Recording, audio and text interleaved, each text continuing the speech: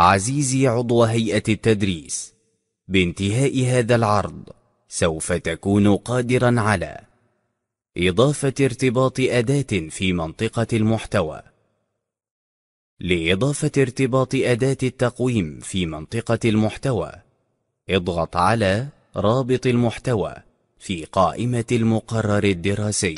أنت الآن في منطقة المحتوى.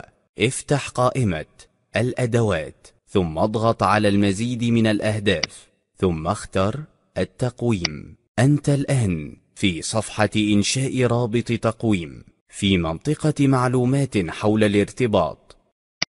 أدخل اسم الارتباط ثم ادخل النص التوضيحي.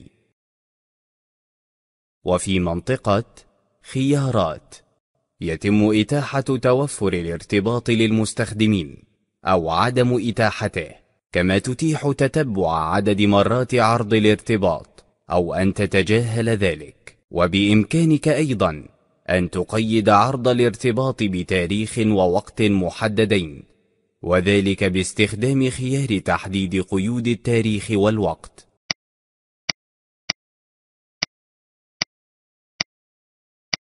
اضغط تقديم أحسنت. تم إنشاء ارتباط أداة التقويم في منطقة المحتوى بنجاح. الآن افتح ارتباط تقويم اختبارات اللغة العربية ومن صفحة التقويم. قم بإنشاء حدث جديد. اكتب عنوان الحدث ثم أدخل وصفا له.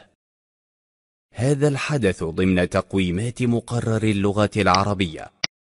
ويمكن إدخال التاريخ والوقت. أو أن تشير إلى أن الحدث سيكون على مدار اليوم ويمكنك تكرار الحدث بشكل دوري. هذا الحدث سيكون بصورة شهرية وسيتم تكراره كل شهر وسيكون في اليوم الأول من الشهر وذلك لمدة ستة أشهر أي سيتم تكراره ست مرات.